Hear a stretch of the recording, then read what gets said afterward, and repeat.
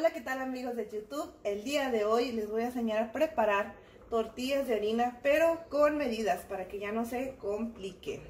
Lo que vamos a necesitar será un kilo de harina, en este caso yo tengo aquí harina de trigo, 250 gramos de manteca, que aquí en esta parte vienen indicado hasta dónde debemos de cortar para que sean los 250 gramos, sal, una cucharada,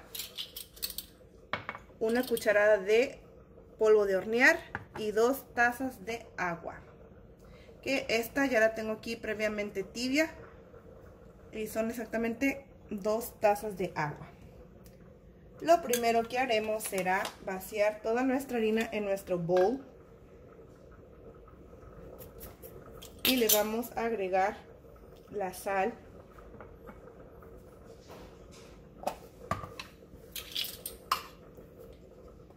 y la, la cucharada de polvo de hornear. Aquí vamos a estar cortando hasta la medida de los 250 gramos que viene siendo un cuarto. En México también ya lo venden así por cuartos pero sale más económico comprar toda la barra completa. Lo voy a estar aquí pesando aquí más o menos mi, su peso es de 291 gramos, que más o menos no es mucha la diferencia, pero para ser bien exactos, yo le voy a estar quitando el poquito que va a ir de más.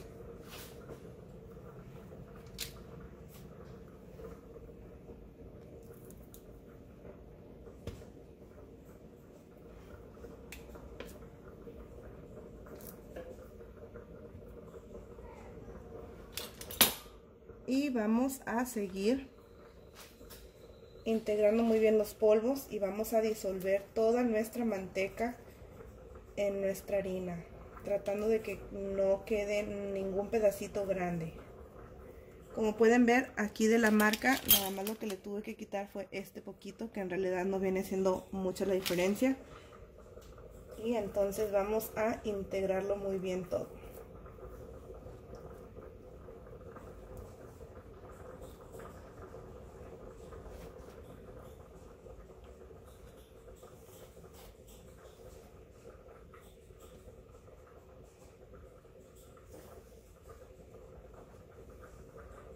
Aquí como pueden ver ya disolví toda nuestra manteca, ya nada más se ve como ah, arenoso. Entonces ahora sí vamos a proceder a agregarle nuestra agua. Y como está tibia, con la ayuda de una cuchara nos vamos a ayudar a integrar muy bien el agua. La vamos a ir poniendo de poco a poco y vamos a tratar de que se integre. Esto nos ayuda, la cuchara nos ayuda a que no, si tenemos las manos un poco delicadas, a no quemarnos las manos.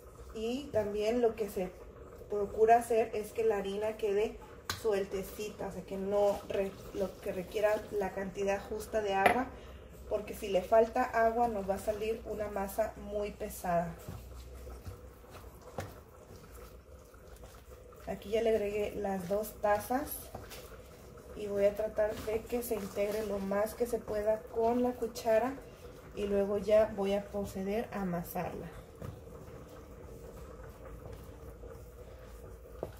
Al hacer esto también ya al contacto con la harina también el agua se tiende a enfriar un poco entonces ya no nos va a lastimar también nuestras manos.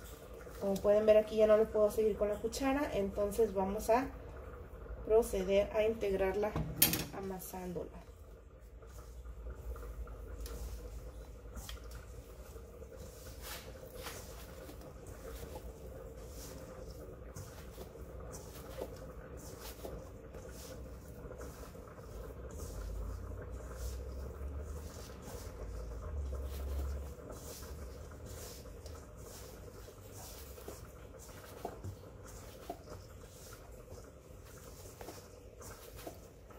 Vamos a recoger hasta el último pedazo de harina que quede en la parte de abajo, integrándola muy bien.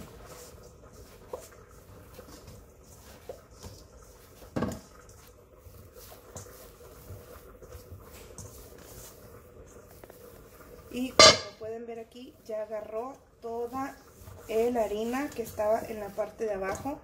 Entonces nuestra masa ya está lista. Como pueden ver queda una masa muy aguadita pero sin estar pegajosa. Entonces aquí ya lo que vamos a hacer es, vamos a pasarla sobre la mesada a tratar de darle una ligera amasada un poco más fuerte y vamos a proceder a hacer los testales para dejarlos reposando.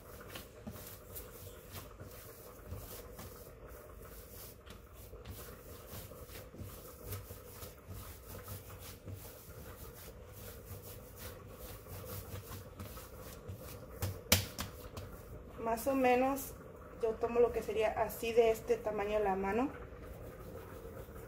Y haciendo este movimiento ya tenemos listo nuestro testal. También lo podemos hacer un poco más chico y entre más chicas pues nos van a salir más tortillas. Entonces vamos a proceder a hacer todos los testales y los vamos a dejar aquí a reposar. Y si los quieren guardar los pueden guardar en una bolsa Ziploc Y nos salieron exactamente 43 tortillas. Y ahora lo que vamos a hacer es vamos a dejar reposarlas tapadas con una bolsa o papel film. Y las podemos utilizar en una hora. Pero si ya las queremos dejar para varios días, lo que podemos hacer es guardar la porción diaria en estas bolsitas así. Exactamente como... Y las metemos en el refrigerador. Muchísimas gracias. Agarramos un poquito de harina para poner en la superficie y sobre nuestra tortilla para poder extenderla sin que se nos pegue. Y vamos a tratar de dejarlas lo más redondas posibles, aunque siempre es bien conocido que no se comen rodando.